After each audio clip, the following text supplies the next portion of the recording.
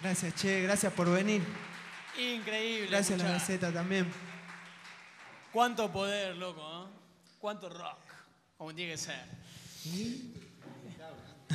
Los changos me están quedando a pedo. ¿Sí? Hay que bajarle un onda, poco, ¿eh? Che, Agu, no te olvides, No ¿eh? te olvides, me dicen ahí, no te olvides. No, ya te, te veía recién imposible. No sos vos. Me han sacado todo, loco. Te dejaron, ¿viste? Lo dejamos más pelado porque si no era inevitable. Empecemos a repasar un poquito, eh, porque todavía hay algunas, varias cosas que quiero preguntarles y seguramente, como lo decíamos hace un rato, la gente también, pero bueno, eh, explota YouTube y empiezan una serie de cuestiones, ¿no? Y quiero conocer, y, porque sé que alguna vez han dicho que hay muchos mitos alrededor de la historia de, de Bruce Dickinson y ese encuentro. Contanos, verdaderamente, ¿qué fue lo que pasó con el líder de Iron Maiden? Bueno, eh, la verdad que fue algo muy mágico antes de empezar. En ese momento no teníamos conciencia de la magnitud de lo que estaba pasando. Resulta que, bueno, subimos este video de Trooper, un cover de Iron Maiden. Y bueno, pasó de que al año siguiente eh, venía Iron Maiden a Argentina. Era el año siguiente, ¿no? Sí. Y, y bueno, mi viejo recibe un mail, un mail, porque eso, eso también estábamos acostumbrados a recibir mails muy locos, ¿no? ¿Qué sé yo? Eh, hola, soy de Brasil y me encanta la banda eh, Cauchus de Acero. Eh, después nos pasaba, sé yo, japoneses, chinos, yanquis. ¿No eh, entendés cómo llega hasta allá? Claro, uno, uno- no, no, no, no entendíamos qué onda, era muy loco. Latinoamérica era entero, pero uno se espera de Latinoamérica por la misma lengua, por, por el, el mismo La lugar. cercanía también, claro. La cercanía, pero de, por ahí uno de Japón, de Hong Kong, ¿viste? O, así, o, o de Turquía, de Portugal, era como muy extraño. Entonces, bueno, nos llega un mail y decía, hola, eh, soy Sam Dam. Eh, no sabíamos quién carajo era Sam Dam, ¿viste? Era, hola, soy Sam Dam, todo esto en inglés. Y me gustaría que los chicos vayan a ver Iron Maiden, estamos muy... Yo trabajo para la productora de Iron Maiden, estamos haciendo una película. Y, y bueno, queríamos conocerlos. Y ellos pensaban que vivíamos en Buenos Aires, ellos Claro. dijeron Argentina, bueno, vamos a verlo a los gauchos. Entonces ahí le decimos, eh, en ese momento averiguamos quién era Sam Dam. Y, y claro, ponemos ahí en Wikipedia y sale un, un loco así, bien, bien rubio, cara así, ¿viste eso? Alemán. Esos alemanes raros así. Serio, seco. Serio y seco y metalero así, era como, güey. Entonces nos ponemos a investigar el tipo y claro, el tipo le había hecho entrevista a todo el heavy metal mundial, a los de Motorhead, Ozzy Osbourne, eh, Le- eh, a Lemmy, a- Un grosso. a un, un grosazo, digamos, un grosazo. Y nos dice, bueno, yo voy a ir a Argentina y me gustaría tomar algunas imágenes porque estamos haciendo un documental y, y- y bueno, queríamos conocerlo, esa, esa era eh, la cuestión. Entonces mi viejo al principio no sabíamos si era una joda, qué Claro. onda, porque llegó un momento que se nos iba de las manos. Imagínate mi viejo, eh, él nunca lo tuvimos que obligar a ser manager, ¿entendés? Onda, eh, de- él Se te laburaba con cargo la- lo que generaste con el video. Claro, laburaba Claro. con las PC y todo eso y después, como nadie se esperaba, o sea, ninguno de nosotros tres se esperaba nada de lo que pasó, era muy loco. La cuestión es que llega este mail, lo respondemos a todo esto, eh, ayudas por todos lados, viste, che, me llegó este mail, ¿qué onda? No sé. Y, bueno, nos ponen una traductora, nos dicen, bueno, ustedes paguense todo, allá le devolvemos, Ah, bien. eh, así que no se Claro, arriesgado. Bien jugado. Pero bien jugado, ¿entendés? Onda, no sabes si era una mentira, una broma. Hermano dijo, para que sea rápido, compren pasaje en avión y vayan y nosotros ya, ya devolvemos todo. Hermano, nosotros no, no entendíamos nada, posta, no entendíamos nada. Entregado, entregado. Entregado. siete días antes vengo y me quiebro la pierna. Pero todo esto nada era pactado. O sea, no era Claro. que dijeron, che, vengan porque van a salir en el documental y Bruce Dickinson lo que. No, era simplemente él nos quería conocer y que estaba de paso porque estaba haciendo la película de Iron Maiden. Entonces llegamos a Buenos Aires y bueno, pasaban un- pasaron tres días y no llamaba a nadie. ¿Viste? Te voy a llamar, no llamaba a nadie. Ya era el otro día, era lo de Iron Maiden, ¿viste? Y a última hora. Hola, sí, soy Victoria, la traductora, y lo están esperando en el Hotel Sheraton, no sé qué. Claro, entonces caemos, y éramos re chicos, era un fly. En el sub. Caemos en el subte, vamos en el subte, nos subimos al subte con mi viejo, todo. Y eh, después nos encontramos con, que esta es una anécdota también muy buena. ¿Te acuerdas Pedro y Pablo, La Marcha Sí. de la Bronca? Claro. Bueno, Jorge Durietz, o sea, el que cantaba con Miguel Cantilo, eh, eh, nos, hacía, nos hicimos amigos por otras cosas que pasaron antes y bueno, él nos llevaba en su, en su especie de furgoneta, íbamos todos amontonados, ¿viste? Y, y él nos, le, le dijimos, che, por las dudas, llévate unos equipos, porque capaz que pinte toca, Claro. eh, llévate algunos equipos. Bueno, bueno, íbamos todos amontonados así en el, en el auto de Jorgito.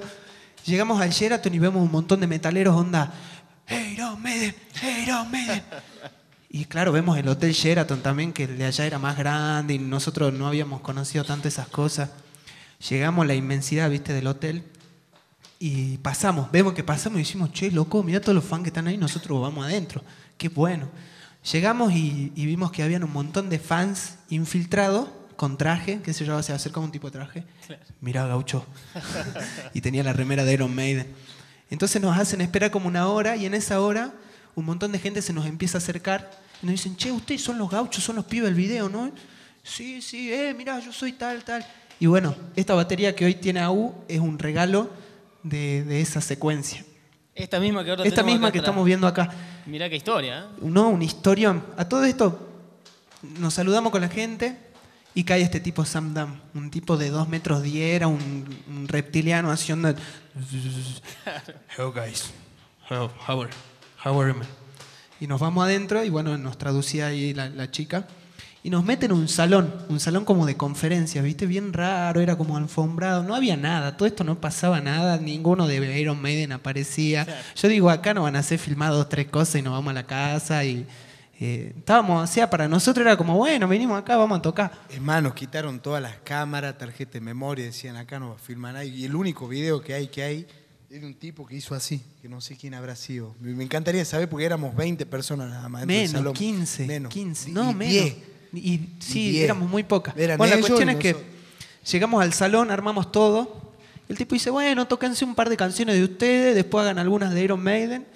Y, y bueno, le voy a hacer un par de preguntas y, y- y listo. Chao. Hicimos todo eso, viste, ya en un momento ya era como que, bueno, ya está, loco, o sea, vamos a ¿Qué va a saludarlo a los Iron Maiden, boludo, llévame a sacarme una foto con él. Y en un momento se abre una puerta, todo esto era un pasillo, ponele, nosotros estábamos acá, la puerta estaba donde está la puerta de vidrio. No, más lejos.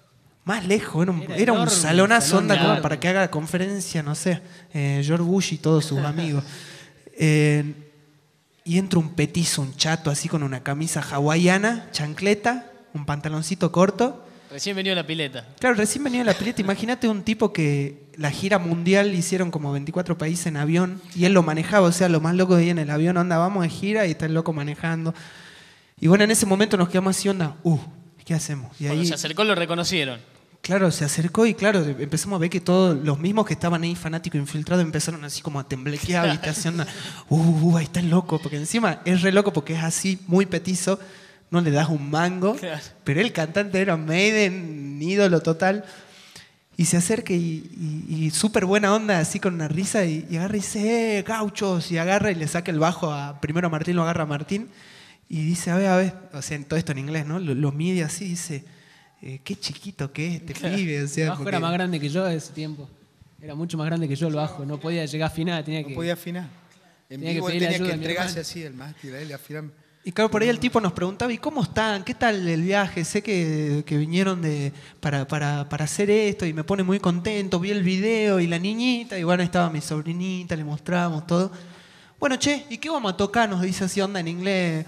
Eh, what song- como, what, eh, We're gonna song talk. we play. what gonna play, what gonna gonna play? play, yeah. What gonna play? Así, pero onda, ¿qué vamos a tocar, loco? ¿Vamos a tocar o no? Así. Dejemos molestar. Claro, déjeme echarle y vamos a tocar. Claro. Y bueno, les digo, toquemos, toquemos. Y bueno, ahí nos pusimos a tocar eh, las canciones que hicimos de Trooper y Fear of the Dark. Y, y me acuerdo que el momento, o sea, a todo esto era un amplificador. Esto que, esto que tenemos hoy para tocar es de oro. A lo que en ese momento había un amplicito, una batería que Jorgito nos había prestado, viste, de buena onda. Entonces, y el, y el man tenía, eh, Jorge tenía un equipo de voces del año 60 que había llevado. Y, y el cable llegaba como por hasta ahí. Y ahí nomás. Festival del Amor, esa, Y, y Bruce Dickinson estaba así con el cable tirante. Y dice, bueno, toquemos. Y se puso a cantar y ahí empezó una magia así de. ¿Cómo can- ¿Viste? En el- sueño. En el video mismo se, se nota cómo la voz de él es tan No potente le hacía falta ni micrófono. que no le hacía ni falta. Él, él se paraba así y podía cantar. La cuestión es que termina todo esto y nos dice, chicos, Buena, ¿eh? Gracias por el ensayo gratis. Me voy a pegar una siesta, nos vemos esta noche. Y fue como ensayar a Dickinson. claro, y fue como, gracias por el ensayo gratis, nos dijo así. Y a todo esto no- me lo dijo en inglés, yo, ¿cómo, cómo? Claro. Y la, la chica, que gracias por el ensayo gratis. Ah. Con un delay ahí. Y very difficult, para, para nosotros en ese emotional. momento era very difficult. Vos eras chico, Martín, y, y te hace esa broma, vos no sabías si reírte, si Yo llorar, no, entendía sabías nada, qué hacer. O sea, yo- estábamos tocando la canción y lo veo pasar y me quedé mudo, me quedé quieto, no sabía qué hacer, lo miraba él y él me miraba con cara mala, así como diciendo, ¿por qué te frenás? Digamos, estábamos filmando para, para gente grosa. Y bueno, Pero yo no entendía por qué él estaba así, ¿viste? Y en un momento yo también miro y ahí nomás yo tomé, uh, uh, uh, así me quedé así y bueno, no. Y me saca el bajo y yo helado, helado, el corazón no, no, no paraba al, al palo, estaba y no entendía nada, no entendía nada. Fue un momento muy rápido que no... Es como así que, te- que venga Messi y te diga, hagamos un picadito, loco, claro. que esta noche juego ahí el mundial y vamos a ver qué onda, a ver si... Una locura. Y, y era muy- realmente fue muy fuerte, porque después había, bueno, después terminó todo esto, tuvimos ahí un problema con, con este Sam Dam, el alemán, que nos dice, ustedes filmaron, ¿no? Claro, no, era para no. tener problemas con Sandan Claro, no, Sam Dan estaba todo mal. Vos, vos te bardeabas con Sam Dan y, y mi mamá todo esto, claro. Pero no, le explicaba en español y claro el otro, no, no, no. Y ahí nomás le sacó toda la, todas las A cámaras. este que vos contaste recién. No, no, no, a mi mamá, mi mamá había firmado, pues hasta esto no habían sacado una de esto, pasó más adelante. Ese que se- cuando vio ese movimiento, metió el coso y se fue. Pero mi mamá, no, no, no, no, no, le quitó la cámara, así sacó La la, cinta en memoria, esa época, era la cinta de la cámara. le devolvió una cinta nueva, así como si nada, onda, la partió, toma. Pero lo, lo mejor de esto es que pasó eso y después nos hablaron, nos agradecieron, pudimos hablar a los otros chicos y lo mejor que pasó fue que después vimos la película y sale muchas gracias a la familia Gauchos de Acero y a la familia y fue como, ya está, Ya, loco, sea, ya está. no importa si no hay un super video, un super DVD, lo que sea, hicimos algo, Nos tuvieron en cuenta. nos tuvieron en cuenta y de Salta. o sea, eso es lo más loco que eh, de Salta, una provincia que uno nunca se imagina tenga contacto No, con la banda inglesa más grande de, de- de- del metal del mundo y que pasen estas cosas. Yo ahora caigo, en ese momento era como algo fluido, ¿no? Pero, pero bueno, eh, eh, realmente hasta el día de hoy sigue siendo una experiencia que nos toca muy de cerca. Antes de seguir con más música, quiero dar pie a lo que va a ser la, la parte siguiente de, de la charla. Ustedes explota como furor, pero de ahí les viene un desafío que imagino que debe ser el más grande de todos. Dejar de ser la banda de pibes que eran furor en internet para ser una banda consagrada con sus propios temas. Viene el momento de la autogestión y empieza ese crecimiento, Martín. Sí, sí, bueno, eh, es una historia bastante larga y me acuerdo cuando comenzó el furor, yo no podía ni dormir, era todo el tiempo llamadas por todos lados, eh, gente que quería hacer una entrevista por todos lados y, y yo no entendía nada porque yo tenía ocho años, nueve años en esa época y, y era muy, todo muy nuevo para mí, era gente que no conocía y gente que me hablaba en, en modo adulto y yo no entendía nada y, y ahí siempre atrás mi viejo... Sí, eso, eso está Para bueno. mí lo más hermoso fue te- tener que terminar el colegio por internet y, no, y seguir yendo a... Yo creo que eso es lo mejor que me puede haber pasado. Y, y- y con talento pasó lo Buena, mismo. Con talento pasó lo mismo. Talento argentino fue con total de falta a la escuela. Venía talento, era eso. Y mira también en qué terminó eso. Total, llegaban al colegio y eran las estrellas de rock. ¿Quién le va a decir algo a ustedes? No, era loco, había maestra. No, no, no, no, no. No tiene ninguna coronita. Claro, ¿no? Y yo no me. Tampoco era que yo caía como estrella de rock. Yo estaba ahí, estaba con los muchachos, batíamos la misma de siempre. Sino que, bueno, era un, un tema. Estaba la Ese típica, otro tema. Jorge, que atese el pelo. Atese el pelo, Jorge. Tenía 12 años y yo caía como una cresta. Y hubo una gran pelea y tuvimos que venir a Cultura a pedir por favor que nos hagan una nota, me acuerdo, para que nos dejen ingresar al colegio con el pelo largo. Y eso tenemos que agradecer porque gracias a eso pudimos terminar ahí. Entonces fue como, qué bueno, tener que terminar por internet no volver más. Pero era muy loco porque pasaba todo esto, pero recién cuando salimos en Talento Argentino, la escuela fue como, eh, chicos, lo ayudemos a los muchachos. Antes nadie se acordaba. Antes era como, ¿y qué Bruce Dickinson? ¿Y qué es ¿Quién eso? es? ¿Y, qué- Claro. y con quién fuiste a tocar? ¿Estás seguro de lo que hace? Claro, deja las drogas.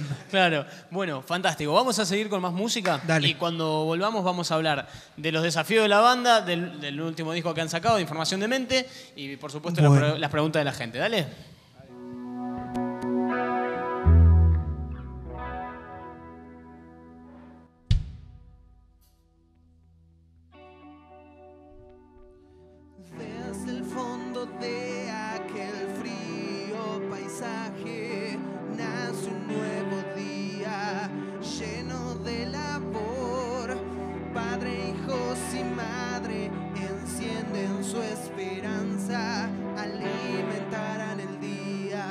sus sueños y andanzas para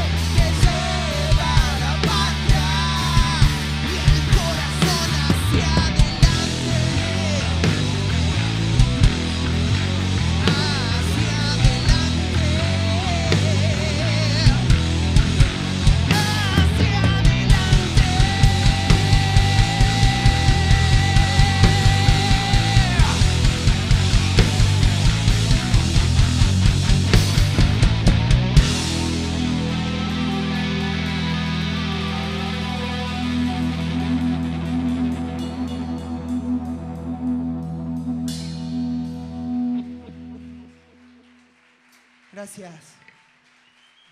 ¿Vamos con otro? ¿Sí?